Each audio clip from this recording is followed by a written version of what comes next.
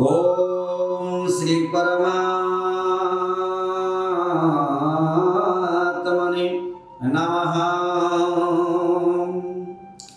ପରମାତ୍ମା ପରମେଶ୍ୱର କରୁଣା କରୁଣାଳୟ ସଚିଦାନନ୍ଦ ଶ୍ରୀ ଶ୍ରୀ ଗାଈ ଦାମୋଦରଙ୍କର ଶ୍ରୀଚରଣ ଅରବିନ୍ଦରେ ଅନନ୍ତ ଅନନ୍ତ ଶତକୋଟି ସାଷ୍ଟାଙ୍ଗ ଦଣ୍ଡବତ ଗଣିପାତ ପୂର୍ବକ ଆଜିର ପ୍ରସଙ୍ଗ ମା ମାନେ ବାବାମାନେ କାର୍ତ୍ତିକ ମହାତ୍ମ୍ୟକୁ ସୁନ୍ଦର ଭାବରେ ସୁନ୍ଦର ବ୍ୟବସ୍ଥାପିକ ଢଙ୍ଗରେ ଲେଖିଛନ୍ତି କିଏ ସିନା ମହାଦେବ ଦାସ। ମହାଦେବ ଦେବ ଦାସ କାର୍ତ୍ତିକ ମାସର ମହାନ ପୁଣ୍ୟତାକୁ ଆଜି ଜନମାନସରେ ଉଦ୍ଧୃତ କରିଛନ୍ତି। ଜଗନ୍ଧର ଯୁଦ୍ଧ କରିଛି କାହା ସହିତ ନା ଇନ୍ଦ୍ରଙ୍କ ସହିତ? ଯୁଦ୍ଧ କରିବା ଫଳରେ ଇନ୍ଦ୍ରଙ୍କର ହେଇଛି କ'ଣ? ପରାଜୟ। ଦେବତାମାନେ ଲୁଚିଛନ୍ତି ଅସ୍କନ୍ଦ ବନରେ ଏକ ପର୍ବତର ଗୁମ୍ଫା ଭିତରେ ଗିରି ଗୁହା ଭିତରେ ଲୁଚିଛନ୍ତି। ମାତ୍ର ପ୍ରତ୍ୟାବର୍ତ୍ତନ କରିଛନ୍ତି କିଏ ସେ? ନା ଜଳନ୍ଧର। ଠିକ୍ ଅଛି। ଅନେକ ଦିନ ଅତିବାହିତ ହେଇଗଲା। ଶୁକ୍ରଙ୍କୁ ଡାକିଲେ କିଏ ସିନା ଜଳନ୍ଧର। କହିଲେ ହେ ମହାମନ୍ତ୍ରୀ ଦୟାପରବଶତ ଏଇ କୁହ ରାକ୍ଷସମାନେ ସିନା ଜୀବନ ନେଇ ପଳେଇଲେ ବର୍ତ୍ତମାନ ସେମାନଙ୍କର ବିନାଶ ହେଇନି ସେମାନେ ମରିନାହାନ୍ତି। ସେମାନେ ଯେ ପର୍ଯ୍ୟନ୍ତ ଅଛନ୍ତି ମୁଁ ମଧ୍ୟ ସେ ପର୍ଯ୍ୟନ୍ତ ଶାନ୍ତିରେ ରହିପାରିବି ନାହିଁ। କିନ୍ତୁ ଶୁକ୍ରମୁନି କହିଲେ ହେ ଜଳନ୍ଧର ଗୋଟିଏ କଥା ମନେ ରଖ। ବେଦ ବିଦିତ କର୍ମ ଯେତେ ଧର୍ମଟି ବୋଲନ୍ତି ଜଗତେ। ଯେତକ ଏ ବ୍ରହ୍ମାଣ୍ଡରେ ବେଦ ବିହିତ କର୍ମ ସିଏ ହେଉଛି ଧର୍ମ। ତେଣୁ ଆମେ ଧର୍ମକୁ ଉଲ୍ଲଙ୍ଘନ କରିବାନି। ସିଧା ଛିଡ଼ା ହେଲେ କିଏ ସେ ସିଂହାସନ ଉପରୁ କିଏ? ନା ଜଗନ୍ଧର ହାତ ଯୋଡ଼ିଲେ କହିଲେ ଆପଣଙ୍କୁ ଗୁରୁ ଭାବରେ ମୁଁ ପ୍ରଣାମ କରୁଛି ଏବଂ ମନ୍ତ୍ରୀ ଭାବରେ ତୁମକୁ ଅନୁଶାସନ ମଧ୍ୟ ଦେବାକୁ ପଶ୍ଚାତପାତ କରୁ ନାହିଁ। ହେ ମନ୍ତ୍ରୀ ଗୋଟିଏ କଥା ଶୁଣ। ରାଜାର ଧର୍ମ ହେଉଛି ଯୁଦ୍ଧ କରିବା। ରାଜାର ଧର୍ମ ହେଉଛି ଦେଶ ଜୟ କରିବା। ତେଣୁ ଏହି ନ୍ୟାୟରେ ମୁଁ କେତେବେଳେ ଧର୍ମକୁ ଉଲ୍ଲଙ୍ଘନ କଲି? ମୋର ତ ଧର୍ମ ହେଉଛି ଯୁଦ୍ଧ କରିବା। ମୁଁ ଜଣେ କ୍ଷତ୍ରିୟ ମୁଁ ଜଣେ ବୀର ମୁଁ ଜଣେ ମହାବଳୀ ୟାକୁ ସାବ୍ୟସ୍ତ କରିବା ପାଇଁ ମୋତେ ତ ଯୁଦ୍ଧ କରିବାକୁ ପଡ଼ିବ ନା ସିଏ ଦେବତା ହୁଅନ୍ତୁ ସିଏ ମାନବ ହୁଅନ୍ତୁ ସେ ଯକ୍ଷ ହୁଅନ୍ତୁ ସେ ଲକ୍ଷ ହୁଅନ୍ତୁ ସେ କିନ୍ନର ହୁଅନ୍ତୁ ଚାଗନ ହୁଅନ୍ତୁ ଗନ୍ଧର୍ବ ହୁଅନ୍ତୁ ନାଗ ହୁଅନ୍ତୁ ଯିଏ ବି କିଏ ହେଉନା କାହିଁକି ମୁଁ ମୋର ସାମ୍ରାଜ୍ୟକୁ ବିସ୍ତାର କରିବା ପାଇଁ ସେମାନଙ୍କ ସହିତ ଯୁଦ୍ଧ କରିବା ନିହାତି ଆବଶ୍ୟକ। ଏହି କଥାକୁ ବିଚାର କରି ଜଳନ୍ଧର ଆଜ୍ଞା ଅନୁଚରମାନଙ୍କୁ ପଠେଇଲା। କହିଲା ଯାଅ ଦେଶ ଦେଶ ନଗର ନଗର ଭ୍ରମଣ କରି ଖୋଜ କୋଉ ଜାଗାରେ ଦେବତାମାନେ ଅଛନ୍ତି? ମାତ୍ର ଶୁକ୍ରମୁନି ସାଙ୍ଗେ ସାଙ୍ଗେ କହିଲେ ହେ ରାଜା ଦେବତାମାନେ ଏକ ପର୍ବତର ଗୁମ୍ଫା ଭିତରେ ନିଜକୁ ଲୁକାୟିତ କରି ରଖିଛନ୍ତି ଏବଂ ସେଇ ଦ୍ୱାର ଦେଶରେ ଏକ ବିରାଟ ପ୍ରସ୍ତରକୁ ରଖିଛନ୍ତି। ତେଣୁ ସେମାନେ ଜୀବିତ। ଜଳନ୍ଧରର ପାଦଠୁ ମସ୍ତକ ପର୍ଯ୍ୟନ୍ତ ପ୍ରକମ୍ପିତ ହେଇଗଲା।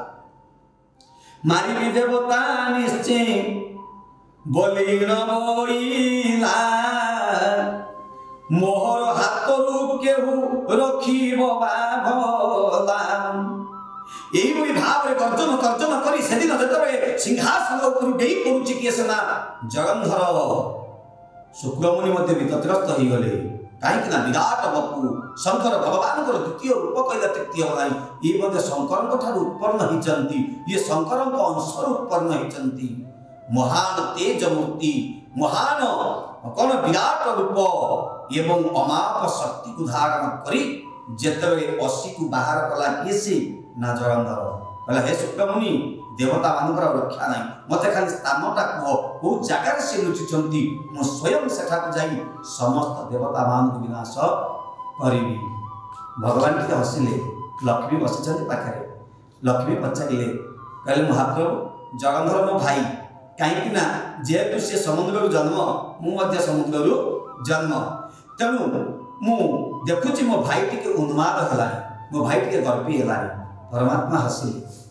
कहले, हे महादेवी, ये ब्रह्मांड बगल बयान हो आज निजक धरा, सरा मन कर किए सी? ना জয়ন্ধর মাত্র এবে তার পতন সময় আসেনি এবে তার পতন সময় আসেনি হে মহাদেবী মু মধ্যে স্বয়ং তা আগে কণ প্রতিহত হেবি মু মধ্যে তাকে জয় করিপারিবি না সে ক্ষমতা মোর মধ্যে নাহান্তি ঠিক আছে কিন্তু গোটিয়ে কথা মনে রখ କହିଲେ ମୋହର କରୁଣା ହେଲେ ଗୋଣା ବ୍ରହ୍ମା ଶଙ୍କର କୁନ୍ତି ବଣା ଯାହାକୁ ମୋହ ରସ ଦଏ ଜ୍ଞାନ ତାରୁଦ ହୃଦଏ କିନ୍ତୁ ଇଏ ଅଜ୍ଞାନୀ ହେଇଯିବ ହେ ମହାଦେବୀ ଆଉ ଉପରେ ମୁଁ କୃପା କରିବିନି କାହିଁକି ନା ଗର୍ବ ଭିତରେ ଅହଙ୍କାର ଭିତରେ ବୁଡ଼ି ରହିଥିବା ବ୍ୟକ୍ତିମାନଙ୍କୁ ମୁଁ କୌଣସି ପ୍ରକାର ଭଲ ପାଏ ନାହିଁ। ନିର୍ମଳ ମନ ଜନ ସୋ ମୋହି ପାବା ମୋହି କପଟ ଛଲ ଛିଦ୍ର ନ ଭାବା ନିର୍ମଳ ଅନ୍ତଃକରଣରେ ପବିତ୍ର କାର୍ତ୍ତିକ ମାସରେ ଯେଉଁମାନେ ମୋତେ ଭଜନ ଅର୍ଚ୍ଚନ କୀର୍ତ୍ତନ ବନ୍ଦନ କରି ମୋର ଶରଣାପନ୍ନ ହୁଅନ୍ତି ମୁଁ ତାଙ୍କୁ କୋହେଇ ନେଇଯାଏ। ମାତ୍ର ଆଜି ଜଳନ୍ଧରର ଯେଉଁ ଏ ପ୍ରାଦୁର୍ଭାବ ଯେଉଁ ଅହଙ୍କାର ଯେଉଁ ଗର୍ବ ଅହମିକା ଭିତରେ ନିଜକୁ ସେ ନିର୍ଲିପ୍ତ କରିଛି ମା ମାନେ ବାବା ମାନେ ଆପଣମାନେ ବିଚାର କରନ୍ତୁ ଭଗବାନଙ୍କର ସଦୟ ହେବେ ନା ପ୍ରଭୁର କୃପା ହବନି? ପ୍ରଭୁଙ୍କର କୃପା ଯାହା ଉପରେ ନ ହେଇଛି ସିଏ କେବେ ହେଲେ ସନାଥ ହେଇପାରିବନି ସଦା କାଳେ କାଳେ ଅନାଥ ହେଇକି ରହିବ। କାହିଁକି? ନା ଗୋଟିଏ କଥା ସେଦିନ ପରମାତ୍ମା କହିଲେ ଯାହା ସେଦିନ ମହିଷାସୁରକୁ ମହାଦେବୀ ମା ଦୁର୍ଗା କହିଥିଲେ ମହାଦେବ ଦାସ ଆପଣଙ୍କର ଦେବୀ ଭାଗବତକୁ ସୁନ୍ଦର ଭାବରେ ଓଡ଼ିଆ ପ୍ରତି ଅନୁବାଦ କରି ଗୋଟେ ସୁନ୍ଦର ପଙ୍କ୍ତିଟି ଉଦ୍ଧାର କଲେ। କହିଲେ ଯେତେବେଳେ ବିଧାତାଟି ହୋଇଯିବ ବାମ ତୃଣ ମଧ୍ୟ ହୋଇଯିବ ବଜ୍ରର ସମାନ। ପରମାତ୍ମା କହିଲେ ମହାଲକ୍ଷ୍ମୀ ହେ ମହାଦେବୀ ଯେତେବେଳେ ବିଧାତା ବାମ ହେଇଯିବ ସେତେବେଳେ ତୃଣ ଘାସଟା ମଧ୍ୟ ଇନ୍ଦ୍ରଙ୍କର ବଜ୍ର ଠାରୁ ଆହୁରି ଶକ୍ତ ହେଇଯିବ ଆହୁରି ଶକ୍ତ ହେଇଯିବ ଆହୁରି କଠିନ ହେଇଯିବ। ସେ ସମୟ ଟିକେ ଆସିବା ଡେରି ଅଛି। କାହିଁକି ନା ବର୍ତ୍ତମାନ ଉତ୍ଥାନର ସମୟ କାହାର? ନା ଜଳନ୍ଧର ପାପର ପରିସୀମା ଅତିକ୍ରାନ୍ତ କରିବ। ସେତେବେଳେ ସେ କାଳ ହାବୁଳରେ ପଡ଼ିବ। ସେଥିପାଇଁ ସେଇ ପର୍ଯ୍ୟନ୍ତ ନେବାକୁ ହେଲେ ତାକୁ ଆମକୁ ଏବେ ତାକୁ ପ୍ରୋତ୍ସାହିତ କରିବାକୁ ପଡ଼ିବ। ମହାଦେବୀ ଟିକେ ହସିଲେ କହିଲେ ପ୍ରଭୁ ଇଏ ହେଉଛି ଆପଣଙ୍କର ଲୀଳା ଏ ଅଟେ ସର୍ବ ତୁମ୍ଭ ଲୀଳା ତାହାକୁ କେ କରିବ ଖେଳା କାହାକୁ ତୁମ୍ଭେ ଯେ ହସାଅ କାହାକୁ ତୁମେ ଯେ କନ୍ଦାଅ? ମହାଦେବ ଦାସ ସୁନ୍ଦର କଥାକୁ ଉପସ୍ଥାପିତ କଲେ। ମହାଲକ୍ଷ୍ମୀ କହିଲେ ହାତ ଯୋଡ଼ିଦେଲେ। କହିଲେ ମହାପ୍ରଭୁ ଆପଣଙ୍କୁ କିଏ ବା ପ୍ରଶ୍ନ ପଚାରି ପାରିବ? ଆପଣଙ୍କର ଲୀଳା କେତେବେଳେ କ'ଣ ହବ? ସେ କଥା ଆପଣ ହିଁ ନିର୍ଦ୍ଧାରିତ କରିଥାନ୍ତି। ତେଣୁ ଏ ଜଳନ୍ଧର ରୂପାଖ୍ୟାନ ମହାପ୍ରଭୁଙ୍କର ଲୀଳାବତରଣର ଏକ ଅଂଶ ବିଶେଷ କହିଲେ ଅତ୍ୟୁକ୍ତି ହେବ ନାହିଁ ବା ଦୁଇ ମତ ନାହିଁ। ପ୍ରଭୁଙ୍କର ଲୀଳା ଭିତରେ ଇଏ ଏକ ସୁନ୍ଦର ଚରିତ୍ର ଉପସ୍ଥାପିତ ହେଇଛନ୍ତି। ତେଣୁ ଯାହୁ ନା କାହିଁକି? ଆଜି ରାକ୍ଷସମାନଙ୍କ ସହିତ ଖୋଜୁଛନ୍ତି ଜଳନ୍ଧର କାହାକୁ? ନା ଦେବାଧିଦେବ ଇନ୍ଦ୍ରକୁ।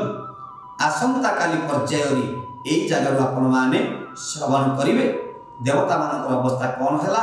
ଏବଂ ତୁଳସୀଙ୍କର ଅଭୁଧେୟ ମଧ୍ୟ ଘଟିବ। ଯେଉଁ ତୁଳସୀଙ୍କ ପାଇଁ ଏ କାର୍ତ୍ତିକ ମହାତ୍ମ୍ୟର ଅନେକ ଭାଗିଦାରୀ ବା ଅନେକ ଅଂଶ ସଂଶ୍ଳିଷ୍ଟ ହେଇକରି ଅଛନ୍ତି। ତ ଯାଉ ନା କାହିଁକି? ତଥାପି ବାସୁଦେବୀ ଆତ୍ମନ୍ ଆଜି ପାଇଁ ସମୟ ହେଇଛନ୍ତି ଆସନ୍ତା ପର୍ଯ୍ୟାୟରେ ସୁନ୍ଦର ଭାବରେ ତୁଳସୀଙ୍କର ମହାତ୍ମ୍ୟ ଏବଂ ଜଗନ୍ଧରଙ୍କର ମହାତ୍ମ୍ୟକୁ ଉପସ୍ଥାପନ କରିବା।